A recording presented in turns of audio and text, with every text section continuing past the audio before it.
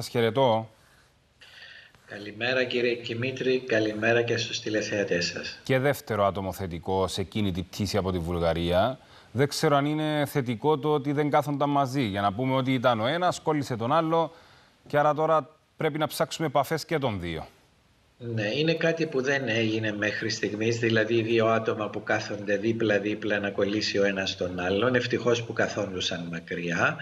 Ε, δεν πάβει όμως από το να μας λέει ότι στην Βουλγαρία ίσως τα επιδημιολογικά στοιχεία που ανακοινώνουν ε, δεν είναι και τόσο εύπιστα, ίσως διότι δεν κάνουν τόσα πολλά τεστ όπως εμάς και επομένως ανεβαίνουν σε πτήσεις άτομα ασυμπτωματικά αλλά μεταφέρουν τον ιόν εν πάση περιπτώσει. Επομένως ε, καλά κάναμε και τους υποβαθμίσαμε. Ε, μήπως πρέπει να πάρει αυτό το δρόμο και η Γερμανία; Αυτό θα εξαρτηθεί εάν ο ιός εξαπλωθεί πέραν των συγκεκριμένων σημείων όπου έχει εκδηλωθεί η έξαρση.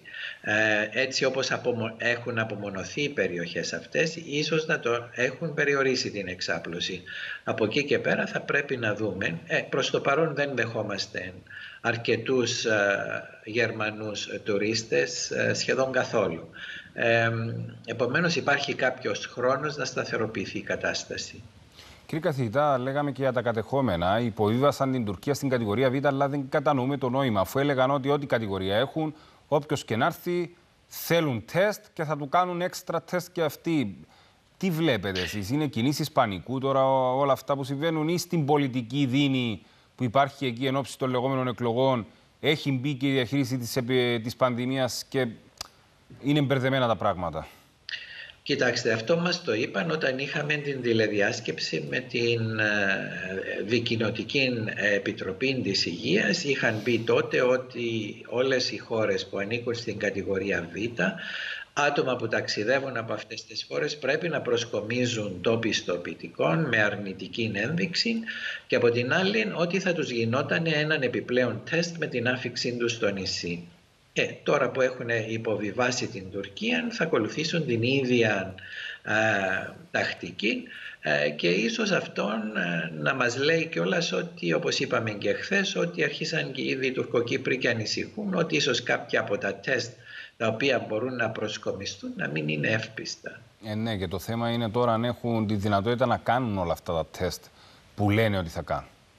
Mm ε, μας είπαν ότι είχαν προμηθευτεί ε, έξτρα μηχανήματα και ότι θα είχαν την δυνατότητα να αντεπεξέλθουν σε αυτά τα, τους μεγάλους αριθμούς τεστ. Έχει... Αυτόν παραμένει να το δούμε. Έχετε βάλει κάποια συνάντηση με τον πρόεδρο της Δημοκρατίας τις επόμενες μέρες κύριε Καραγιάννη; Όχι, συνήθως μας ανακοινώνονται τέτοιες συναντήσεις 24 ώρες προηγουμένως. Και η Ρεμδεσιβήρη και επισήμως στη μάχη κατά του κορονοϊού υπό όρους. Ναι, ε, ήταν αναμενόμενον αυτόν. Ήδη η Αμερική είχε δώσει έγκριση, η ίδια η Γερμανία είχε δώσει έγκριση και φαίνεται τώρα ότι η Ευρωπαϊκή Μονάδα Ασφάλειας έχει κάνει το ίδιο για ολόκληρη την Ευρώπη. Ε, επομένως είναι ακόμα έναν από τα φάρμακα που θα μπορούσε να χρησιμοποιηθεί εκτός από την υδρόξη χλωροκίνη. Τώρα έχουμε και τη ρεμδεσιβήρη, έχουμε και την δεξαμεθαζόνη, έχουμε και την κολχισίνη. Ε, εμάς είναι μες στο πρωτόκολλο το φαρμακευτικό ή πρέπει να το επικαιροποιήσουμε τώρα; Πρέπει να το επικαιροποιήσουμε και επειδή αυτή τη στιγμή δεν έχουμε ασθενείς, είπαμε να περιμένουμε λιγάκι ακόμα μέχρι να βγουν και επιβεβαιωτικές μελέτες για να μην αλλάζουμε ε, συνέχεια τα πρωτόκολλα. Ε, θέλουμε να είμαστε βέβαιοι ότι όταν επικαιροποιηθούν θα παραμείνουν έτσι. Μάλιστα. Είναι κάτι άλλο πρέπει να πούμε κύριε Καραγιάννη; Νομίζω για το εμβόλιο του Imperial που αναφέρατε προηγουμένως πρέπει να πούμε ότι είναι μια νέα προσέγγιση. Θα είναι το πρώτο τέτοιο εμβόλιο που θα χρησιμοποιηθεί στον άνθρωπο διότι δεν χρησιμοποιείται ούτε αδρανοποιημένος ιός ούτε πρωτεΐνη ενός ιού. Είναι γενετικών υλικών που θα χρησιμοποιηθεί το οποίο θα εκφράσει την πρωτεΐνη της ακίδας αυτής της εξωτερικής πρωτεΐνης του ιού το οποίο ελπίζουμε να είναι αποτελεσματικό και επειδή είναι νέα προσέγγισης γι' αυτό αρχίζουν με έναν ασθενή Εάν όλα πάνε καλά, 48 ώρες αργότερα θα προχωρήσουν σε 3 και ούτω καθεξής μέχρι ότου πάνε στις 6.000. Μάλιστα. Άρα βάζουν DNA του ιού, το οποίο δίνει... RNA είναι. RNA. RNA είναι, ναι. Μάλιστα.